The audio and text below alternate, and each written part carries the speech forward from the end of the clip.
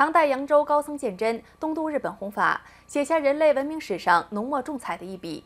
十二月二十号，跨越一千二百年时空，构筑中日友好基础的鉴真和尚的伟大人生，将在日本的舞台上再现。一起来关注一下。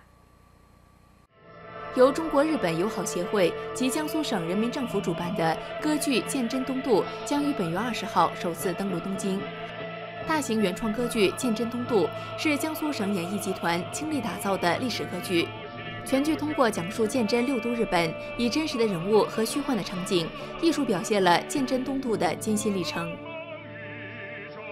该歌剧将分别于东京、奈良、京都三地进行公演。